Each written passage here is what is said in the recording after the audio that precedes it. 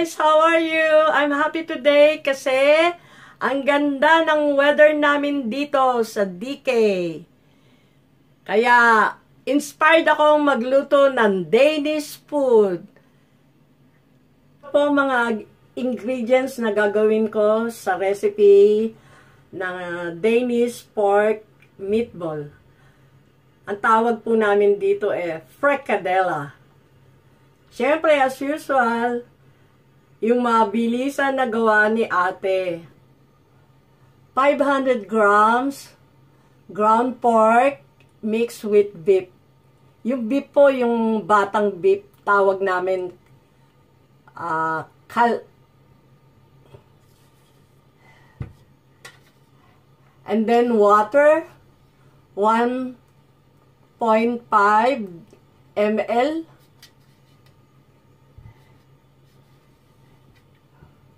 One egg.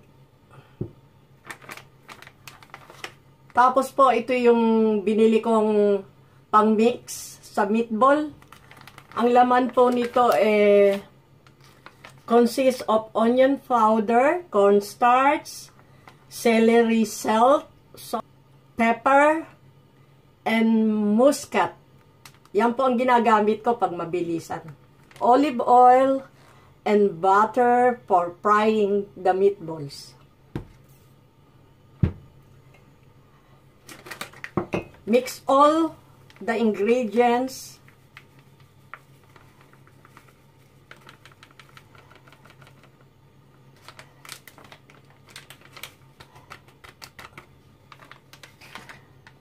water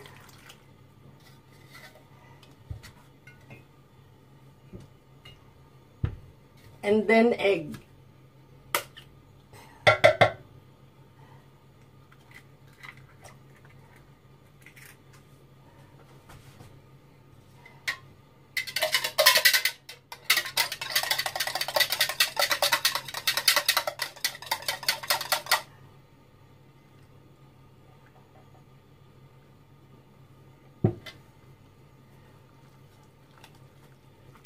Tapos po, haluin yung mabuti.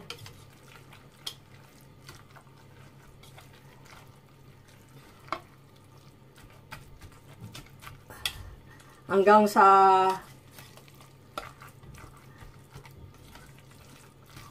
maging okay na ang mixture. Hindi po ako gumagamit ng mixer kasi hindi maganda.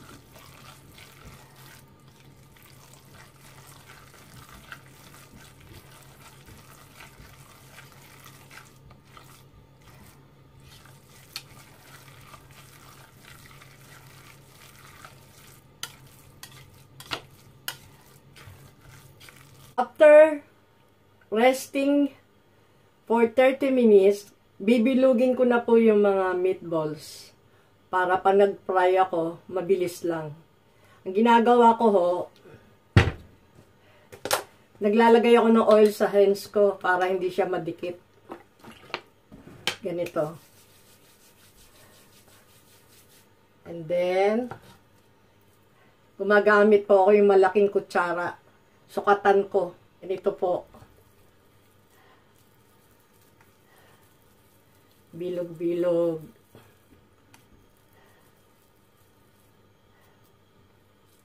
Madali lang to gawin.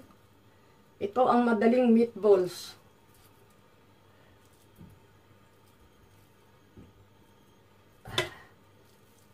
Kung gusto mo mabilisan na meatball, ito ang dapat mong gawin.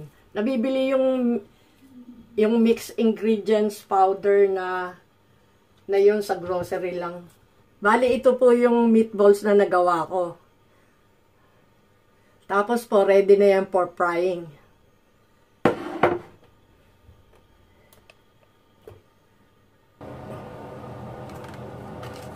Tapos po, naglalagay na ako ng butter. Yung uh, frying pan ko eh nasa medium heat lang.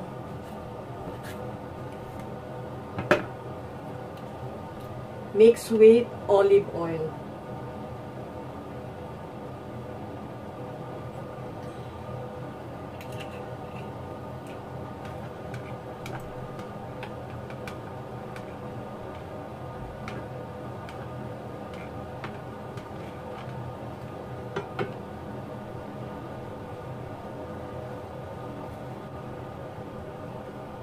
Pwede ko na pong ilagay yung meatballs.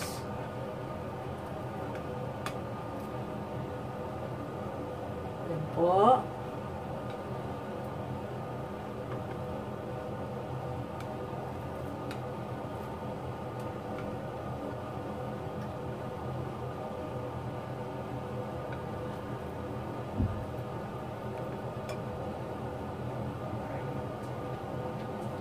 Tulad ng sabi ko, medium heat lang.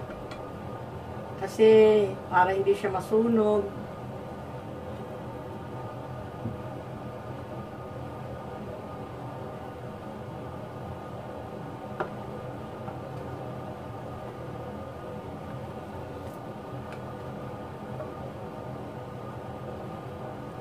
Turn ng turn. Kahit di pa siya luto, kasi babalik ko rin yan mamaya.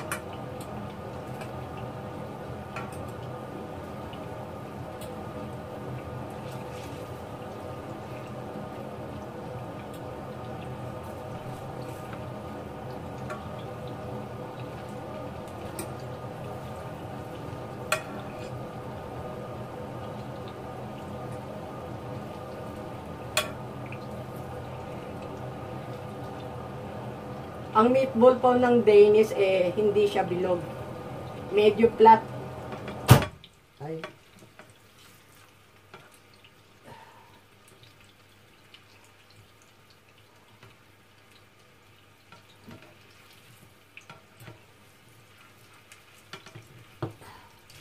Guys, tapos na. After several minutes, pwede na natin siyang hanguin.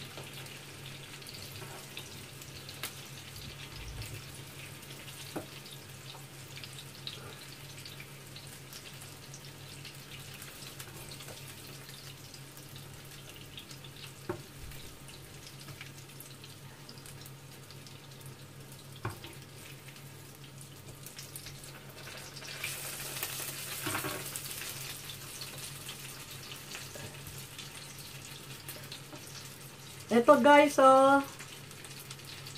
Di ba okay?